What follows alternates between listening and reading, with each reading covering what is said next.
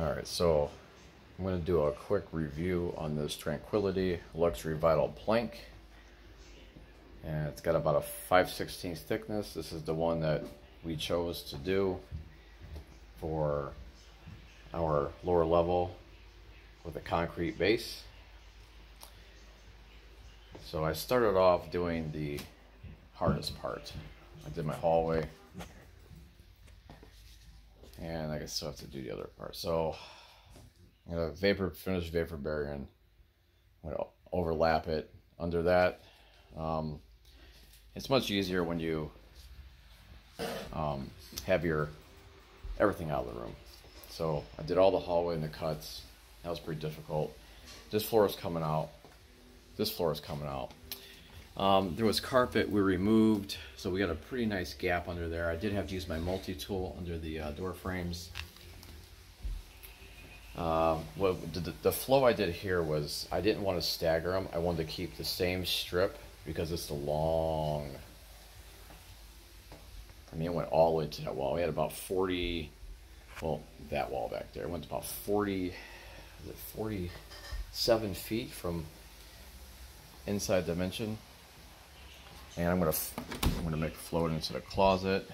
I have to do the store stair piece. It's gonna run a little bit short. About three quarter inch there.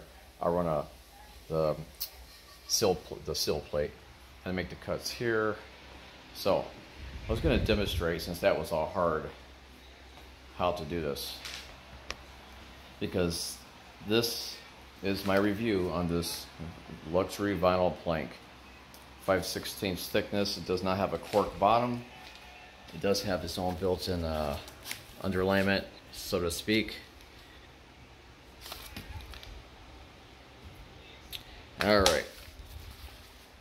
You want to hold the want to hold the camera for me, babe? Baby skins. Oh. Well, she's busy. So to get your measurements, this room I already have the measurement so um, what I do to make this simple, I got a my little video videographer's coming. Just keep the phone in landscape mode here, not portrait. Okay? Okay. Thank you. Tell my daughter to help me. So you're normally going to keep it under here. You, most most woodwork is about three eighths to three quarter thick. So let's say half inch thick. And then you're not supposed to run your drywall all the way down to the ground. Sometimes you do, sometimes you don't. We have an exterior wall. It's a float. It's uh, we're on a gentle slope, so half it's the basement, half it's the walkout. So some of those areas it was dirty underneath there, dirt, whatever, from rodents or you know we're in the country. So some of that had filled in.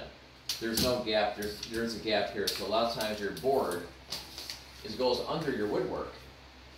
But this floor, I realize some of it's going to go under the floor too.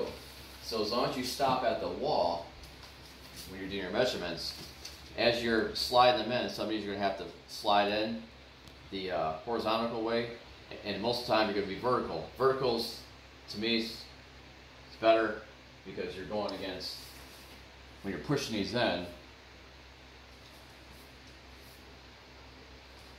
and you have a, one here,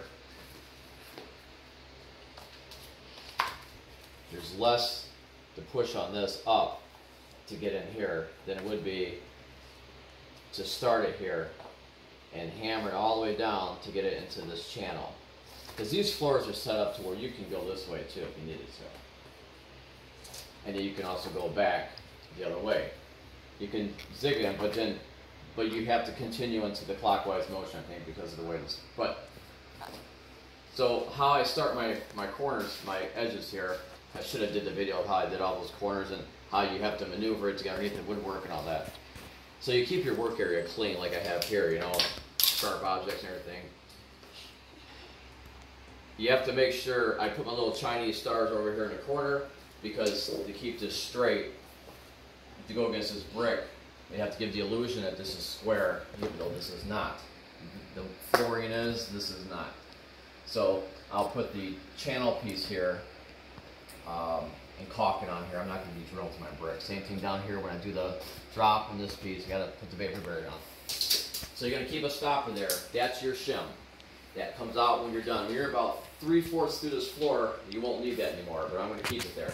You don't need to put spacers on the end. If you need to put something underneath there, like I said, just leave yourself until you hit the wall. Because as you're hammered, it will slide enough under that wall. So I'm going to go about a quarter inch under.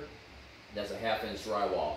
There's enough, usually dropping stuff down there from the insulation. It's not going to, that's your float. It's not going to float like that. It's expansion and contraction. It's just, that whole thing is made for repairs. This stuff is already flexible enough, it's not going to do that. So I'm going to lay out my next pieces. Let's go over here. Let's pick out some boards. And I'm going to change my design so I don't have one with the stripe down the middle. So we'll start with this one. Now I don't usually use a full board. I will use a full board and then I'll have a cut on the other end, a short one to keep it staggering because I was trying to keep a zigzag coming into from the hallway to here. I'm not going to use a full board. This one I had a full board here. I'm to come one more row and then we use a full board to start. So this is going to be the piece I'm going to cut. I already realized I cannot cut under 20 inches because then my drop is going to be it's to fall underneath the 8 inch uh, requirement. You're not supposed to really have under 8 inch. So how I do my layment is I got that one. Here's a light, nice light piece. We'll put this one here. Find another one.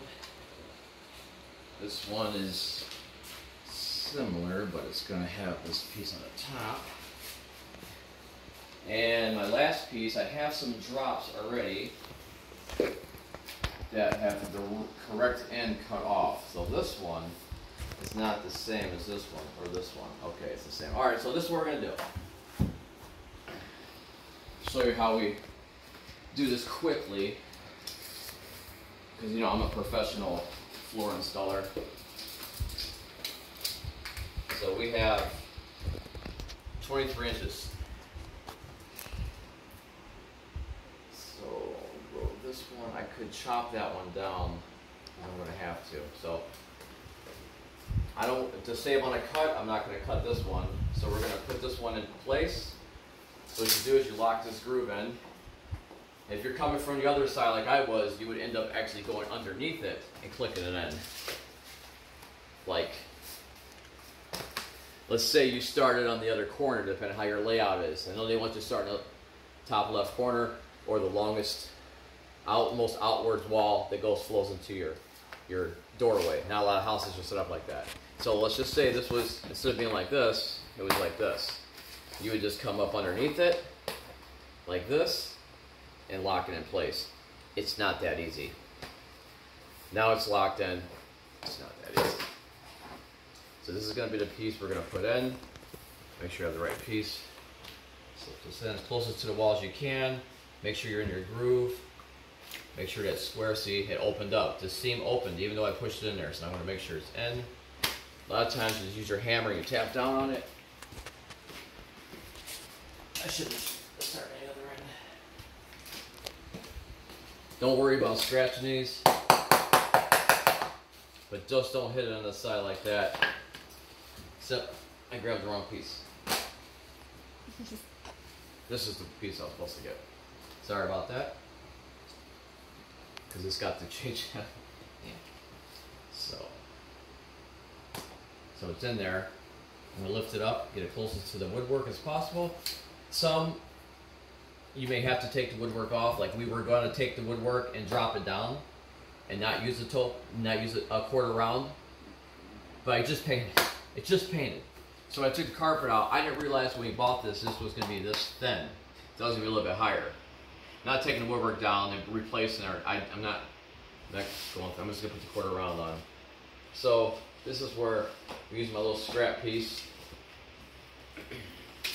Make sure when you do your scrap piece as your hammer block, you do not use a cut off flat end. I've seen all these videos, because heck, I watched some videos first you're going to tear this up. And I know maybe it doesn't need to be said, because if you're doing this, you want to use the channel to lock into the channel if you're using that as a as a striking device. And you don't, don't go slow. You gotta watch it all the way down because the seam will open up. So I hear that. I just I just hit the wall. It will go under the wall. As I'm coming down here, it's gonna sneak under the wall. Now, if I was to put a spacer here, even if it's super thin on both ends, when I get those spacers out or leave them there, eventually with walking, it can push under because it's such a thin spacer. I like to hit the wall because as I'm hammering these down, it eventually will get under the wall. So that's just, now we're gonna do our measurements. So we're gonna grab one more piece. We're going to use, we'll use this piece. So make sure you get your stagger right. We're cutting this piece off. So I got my locking channel. This is going to be the one that's going to go under here.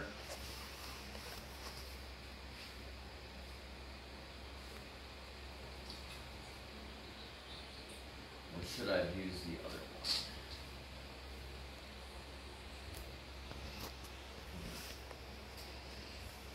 So I'm going to trim this piece. Actually, that's going to fit. Alright, so I am going to use the full piece on this one. I'll show you how this is put in. These knee pads suck. So this J channel, there's always going to be a gap here. Make sure that you have your clearance away. Make sure that your vapor barrier isn't kinked like that. Sometimes you may have to cut it, take the, because this stuff, put this vapor barrier down, it's it's hard. It comes kinked to begin with. It's got folds and everything. I've had to cut pieces out, duct tape over, and there was no mold issues on this floor from the carpet and the padding, and so I'm not worried. We don't have a moisture issue here. So I'm going to start it into the um, the seven and a half inch uh, J channel here. Keep my spacing here so I have I'm in here straight. Now I'm going to lift up a little bit, get this corner close to the wall. If this was a closer piece of the wall, it's very hard to lift this up. A lot of times I have been able just to push it in like this as you wiggle.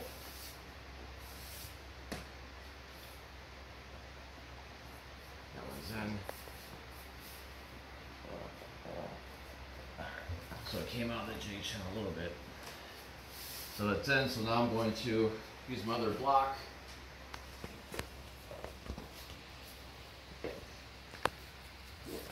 Sometimes you have to come underneath it to keep your proper angle. I'm in the groove just as a small seam. Just to show you, we're going to use the part with the groove. This part overlaps. Overlap your adjacent piece a little bit. Nice little tap. Make sure the seam is going to be somewhat tight before you slide it this way. And that's tight. And sometimes you could just, no, I'm going to this in. Yeah, really, this is my first time doing plank flooring.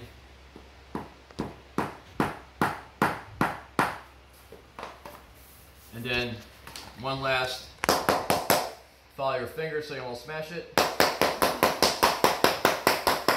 Don't do that.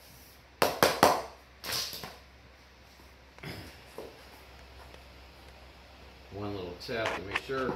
And you don't want to tap them too much because what happens is the longer your floor and the more you're tapping, you can start pulling these other pieces out or you're going to come down the line, you're going to have a big buckle right here.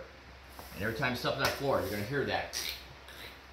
So even though we had the overlapping part of this vapor barrier with the kink, I still don't have a hump here, so that's good. So you make sure your seam is tight. Move on to the next one. Keep everything out of your way.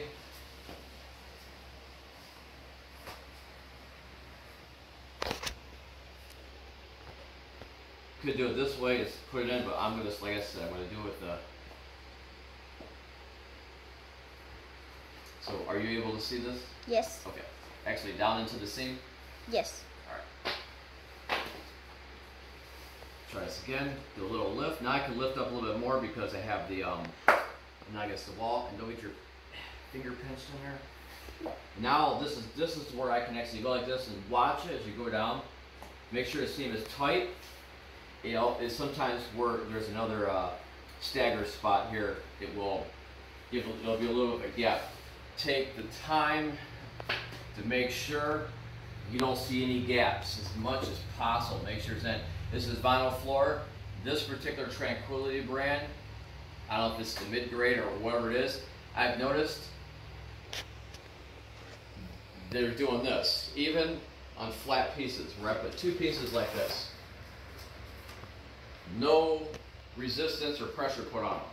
I will lock them in, I will look at it, and then there's a gap in the middle.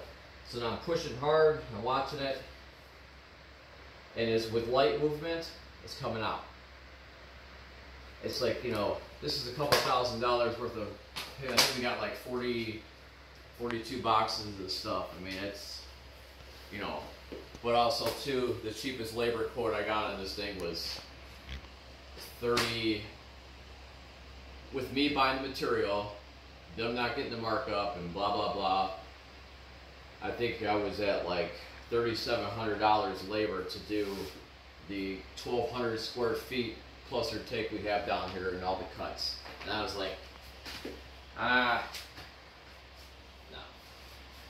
It's just for me, it's not like this is an emergency situation where you have to have it done. So here's the space. So here's me hitting the wall. See? Hitting the wall. And look at this. I forgot I had pre-measured this before the video. So we're hitting the wall, and you can see how this is right here. There's just enough gap. But you know that this will go under the wall at one time. It could with walking and moving furniture. So here I'm going to hook this into the channel. Pull it back a little bit. You don't want to overlap this into here right away. These, yeah, let me show you. These channels, you'll see some of these, you'll be trying to push it in there like this. And it just, these, these J, I think it's called a J channel. I've noticed these J channels are, they'll break off. And some I've had to use my utility knife. Thor. Alright. I've had to use my utility knife on some of these to not cut it off, but to trim it flat because some of those hallway spots were a pain. Always close your knife before you set it down because you'll be the one to get stabbed in the ankle by accident. So make sure this is in here tight. Set it down. Like I said, clear your, your debris out of the way because you will get fuzzies and stuff from your shoes and everything else. I'm trying my best to not pound these in. I'm trying to do it by hand like this.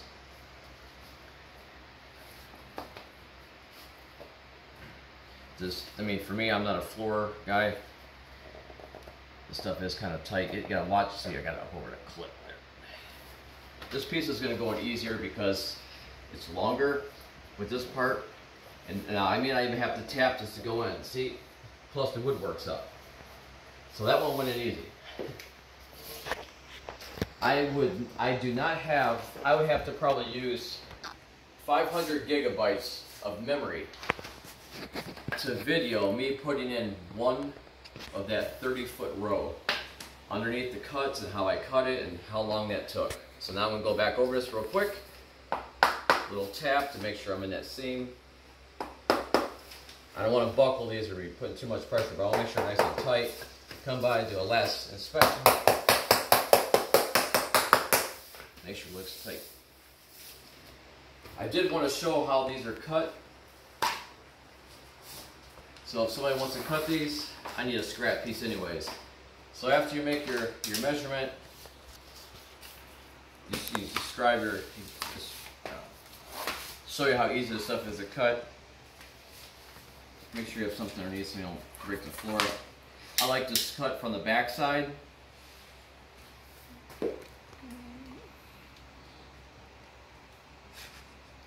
I have the cutter tool. It's bending. It, it, it's not even a knife. It's just like a compression. Like uh, it just wasn't for this. To me, this was better, and a multi-tool. You could use a circular saw too. And so does part of your knee. Snap it, and you usually can snap it back off. it snaps off that way. If you if you score from this side, you'll be able to break it back off. And I don't want to mess up that finish. Just cut away from your body. Not like this. I can slip hit my hand. And it should just snap off. You have a nice clean cut. You don't have to worry about peeling off and scraping all that stuff. So, all right, so that's how I'm doing my, my flooring. And this is probably gonna take me uh, three, three hours. And then maybe I'll do a video of how I cut with the multi-tool the right depth underneath the woodwork. So I can get the stuff to fit nice and tight with just enough wiggle room. I did, I did buy this little tool that I realized with my background, I don't need this to conform over anything. So I know how to flip the boards and figure it all out. All right. Thank you.